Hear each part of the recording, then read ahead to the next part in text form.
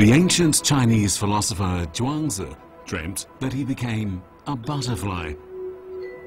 He enjoyed himself so much that when he woke up, he wondered if he had dreamed of becoming a butterfly or if he was a butterfly who was dreaming that he was Zhuangzi. It is hard to distinguish a man from a butterfly or the dream world from reality. The beauty of Kunqu opera manifests itself in that border between reality and fantasy. In the early stages of Kunqu opera, some well-known plays were dream-related.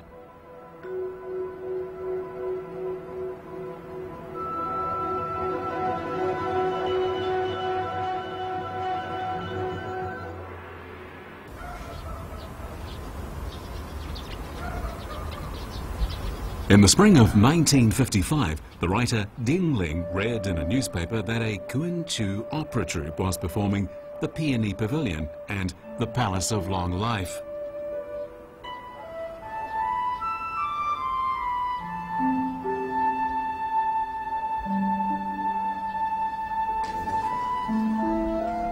At the time, Kunqu opera was on the brink of extinction.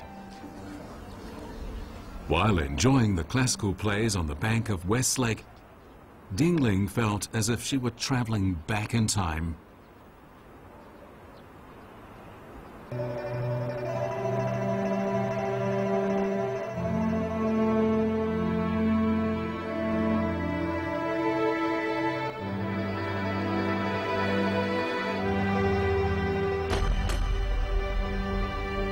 the famous work, The Peony Pavilion, is the following line. As the flowers, if we can freely love, supposing there is, no death can do us apart. Neither bitterness nor distress shall break our heart. This shows the tinge of sadness in many Chinese literary works. Throughout its 600-year history, Kunqu has moved countless people to tears.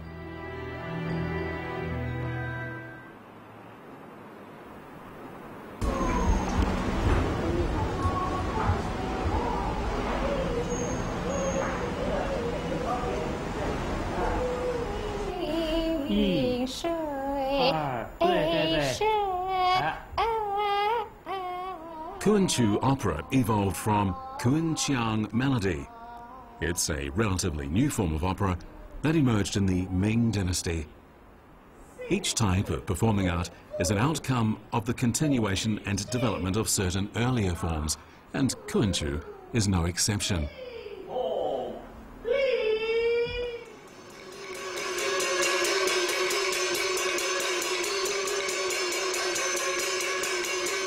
In the summer of the year 1234 AD, the southern Song army, in allegiance with Mongolian troops, captured Caizhou, the capital of the Jin dynasty, and exterminated the once powerful regime.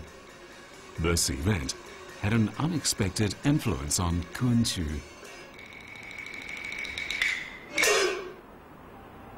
With their cavalry, the Mongolians established an empire, but they were incapable of administering the country.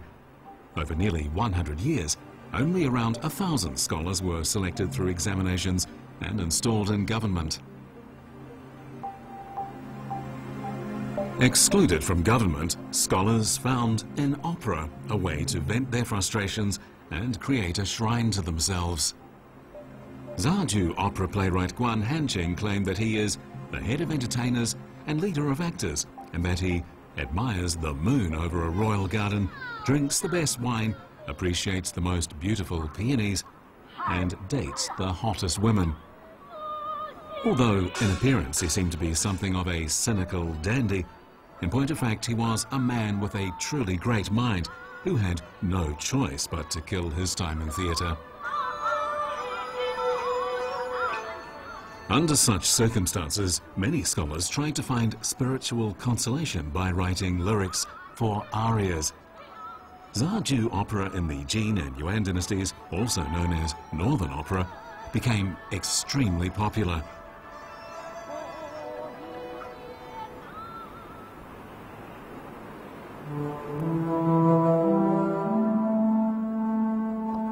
In southern China, unsuccessful officials, businessmen and literati gathered in Lin'an, present-day Hangzhou.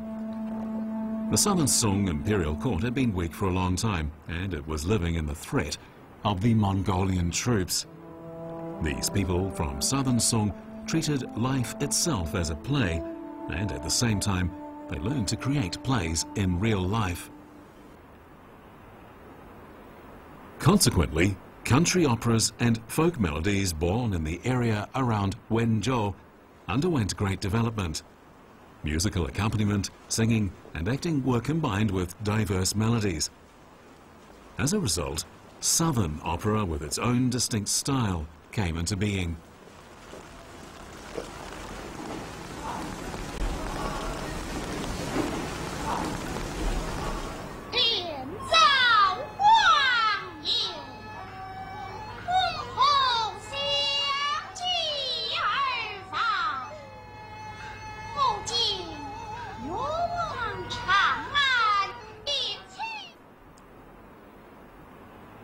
Kunqu opera originated from Kunqiang melody, one of the four so-called melodies of Southern opera. Wei Liangfu, born in Suzhou in the early Ming dynasty, perfected Kunqiang melody, making it a dominant art form.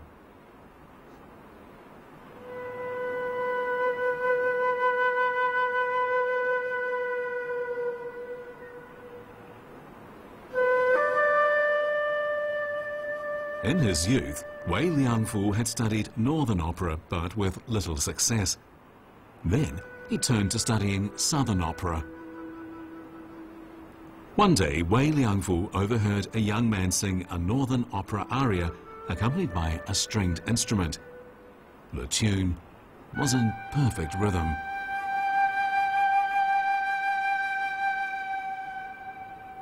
The singer was Zhang Yetang, a notable composer of music for stringed instruments in Northern opera. Zhang had been exiled to Suzhou and he served as a granary guard. Wei Liangfu was deeply attracted by the young man singing.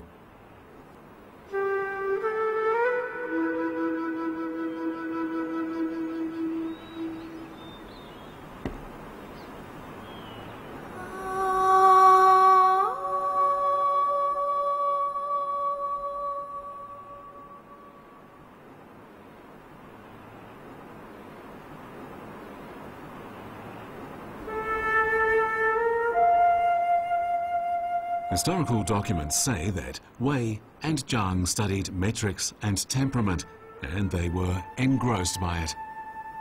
Three days and nights had passed before they realized it, but after that, they became lifelong friends.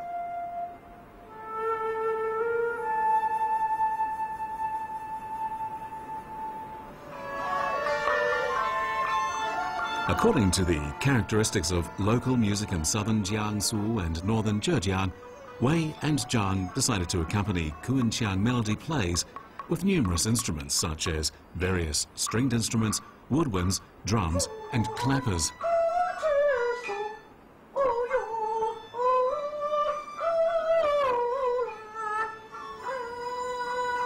For ten solid years, Wei Liangfu concentrated on the pentatonic scale and he came up with a new type of melody. Because the singing was delicate, slow and mild, it was called watermill melody. Through the efforts of Wei Liangfu, Kunqu opera was greatly developed. Wei was later honored as the founder of Kunqiang melody.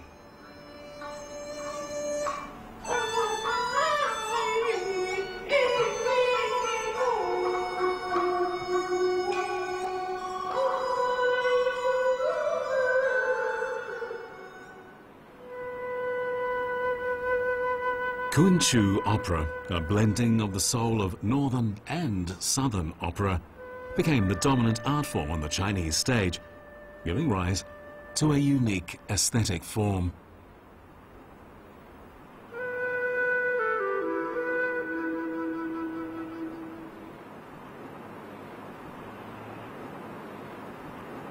In Kunqu opera, different characters are played by four different roles. The four typical roles in Kun opera are Sheng, Dan, Jing, and Chou.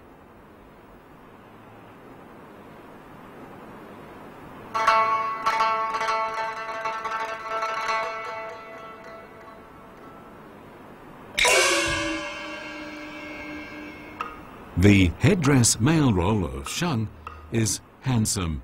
He wears a square scarf on his head and holds a fan in his hand. He's also known as the fan role.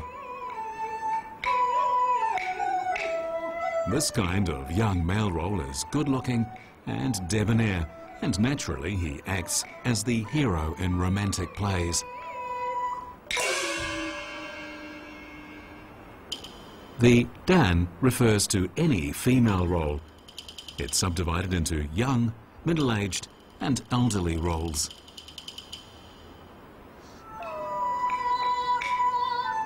This subtype of Dan, for instance, is often a beautiful young woman.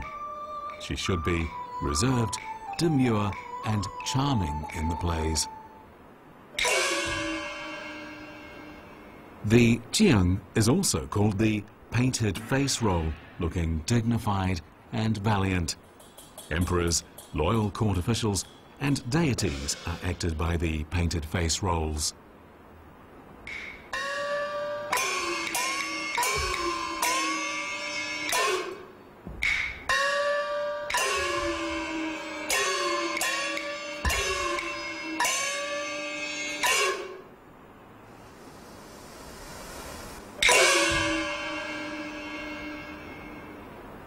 Chou is a comic role that is clumsy and hilarious.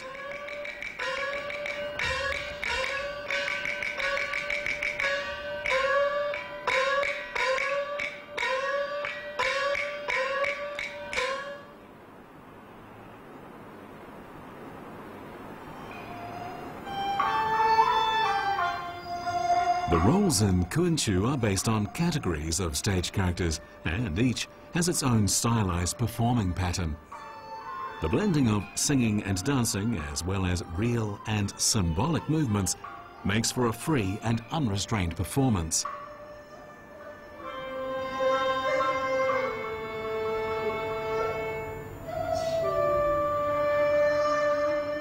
On the Kunqu stage, bodily movements are very symbolic.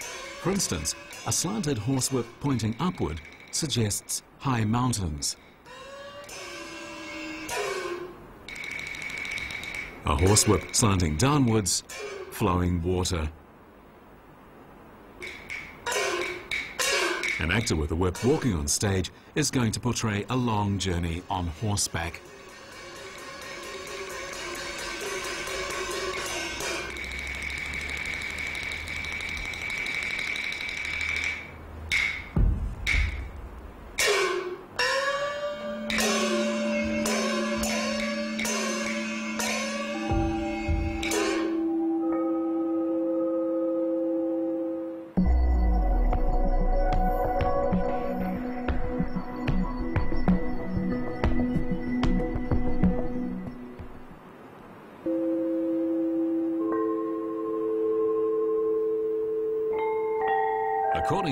Traditional Chinese aesthetic principles, a blank space is a highly expressive device.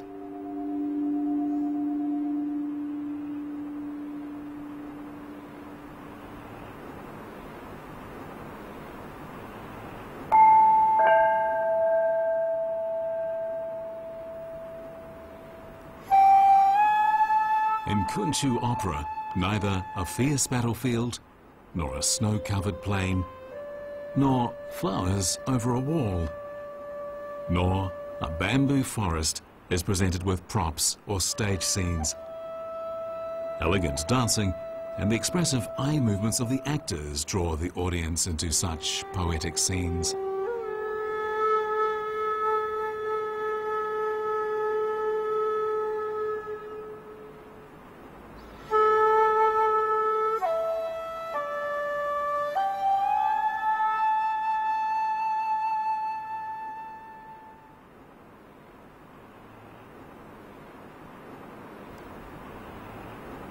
In the West, musical notation is used to indicate key, pitch, and tempo. Kunqu has its own form of notation called gongche. Gongche notation uses Chinese characters to represent musical notes. They're written beside the words in the lyric. The seven Chinese characters Shang, Che, Gong, Fan, Liu, Wu, Yi in Gongche notation can be used to present the musical scale from the tonic to the seventh. Today, with the help of this notation, we can play melodies composed hundreds of years ago.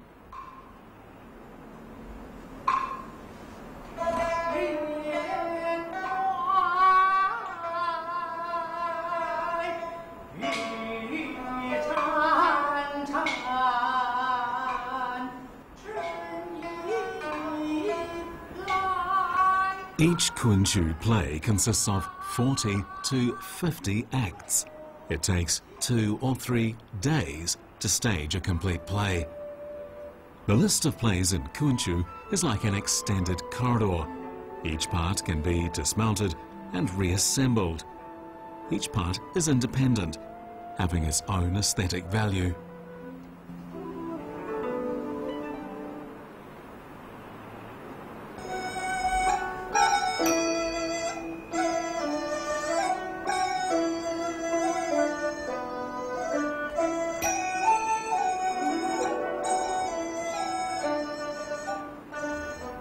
This loose and elastic structure is completely different from that of the well-organized Western theatre. Kunqu presents a unique beauty in the free expression of Eastern art and the unique life force that is Chinese opera.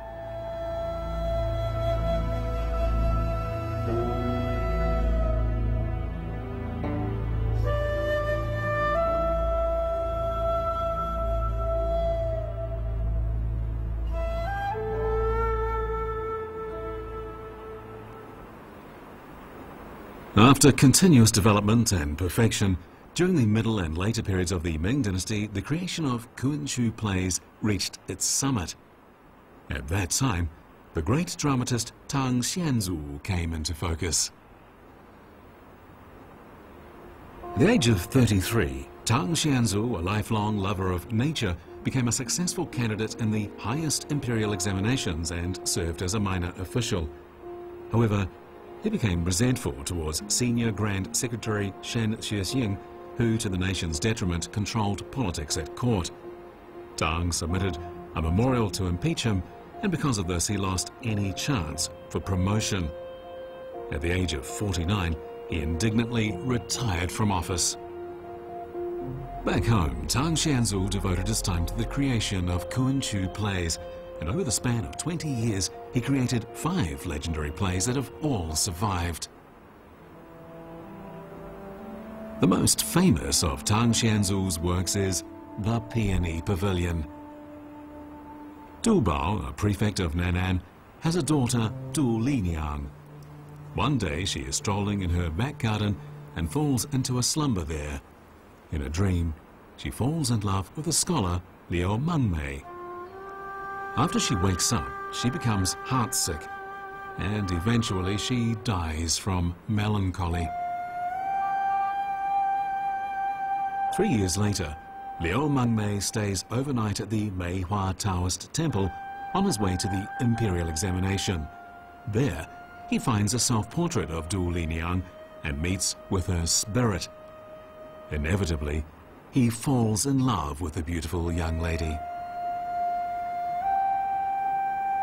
Liu Mengmei opens her tomb and Du Liniang comes to life again.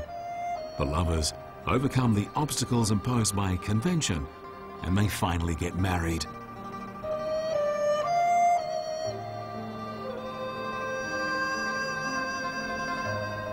In his foreword to the Peony Pavilion, Tang Xianzu writes, Who knows what the cause of love is and what the result of love is?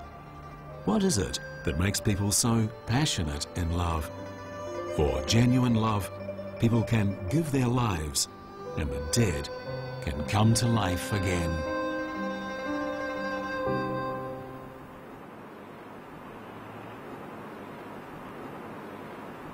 In 1668, Hong Sheng, a scholar from Qiantang, became a student in the Imperial College as Hong Sheng had a personality that was unrestrained and was conceited and contemptuous of others, he didn't receive any government post. He then turned all his attention to creating dramas.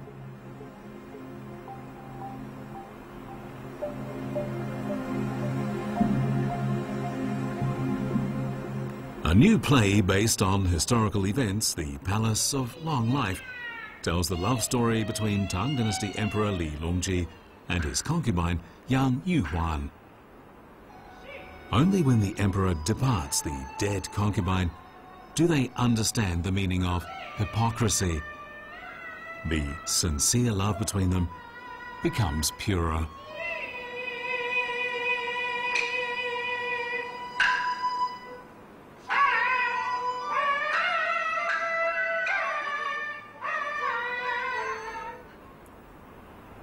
Another Kunshu masterpiece is The Peach Blossom Fan, written by Kung Shangren during the reign of Qing Emperor Kangxi. Kung was a 64th generation descendant of Confucius. Through the love story of Li Xiangjun, a courtesan at the Qinhuai River, and Hou Fangyu, a renowned scholar, the Peach Blossom Fan tells of the decline and fall of the southern Ming dynasty. Coincidentally, these two plays created during the same period possess similar narrative threads about love and about the people's bitterness and remorse over the fall of their kingdom. Both plays present history through the medium of art. The two authors had parallel life experiences too. Both experienced sudden downfalls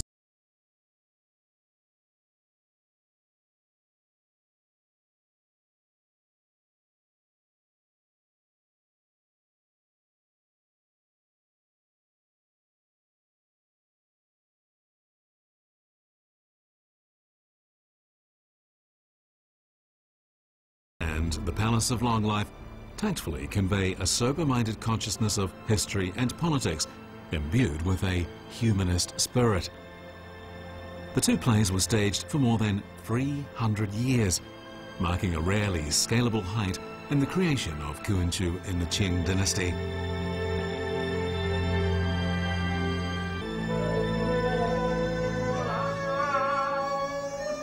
The prosperity of Kunshu opera is ascribed to the preferences of high society and scholars' engagement in it. But even elite culture cannot resist the trend of commercial development.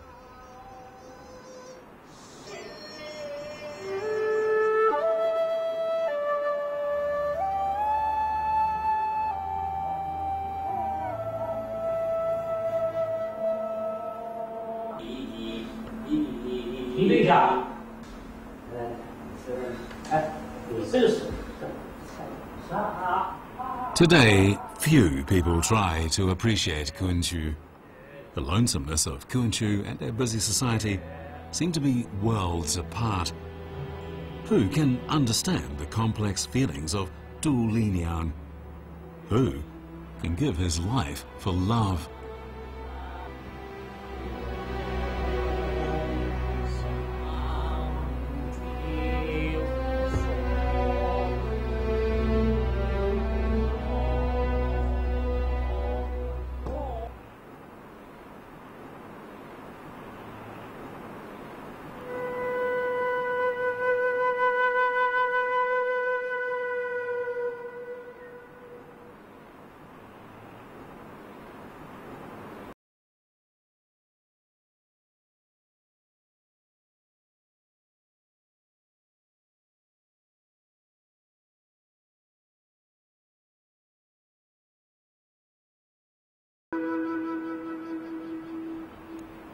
It is perhaps relevant to return to the story of the Peony Pavilion to sense the frenzy for love expressed in this Kunshu masterpiece.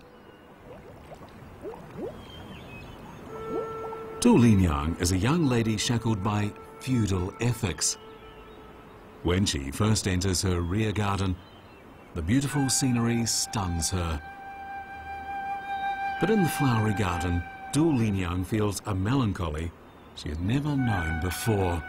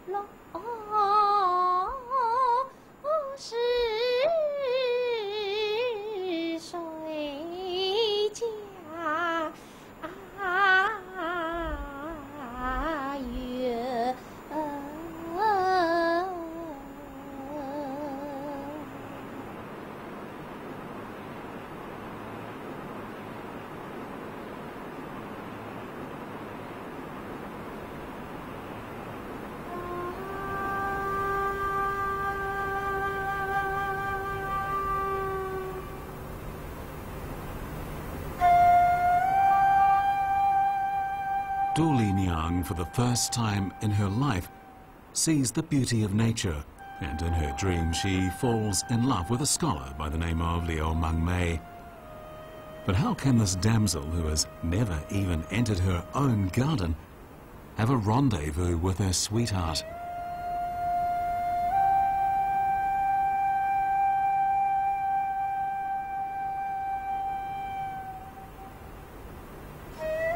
The lovelorn Du Liniang dies from lovesickness. After this, she and Liu Mengmei, who is also heartsick, are in different worlds.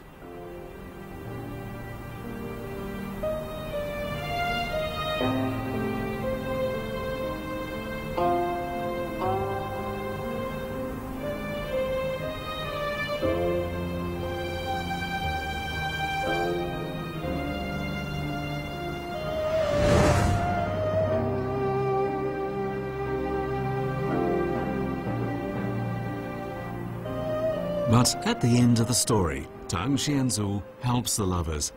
Even though one is living and the other dead, he brings them together in a scene that is dreamlike. Who can explain what love is? Love that makes people this passionate. If we can't meet each other in reality, perhaps we may fulfill our wishes through dreams.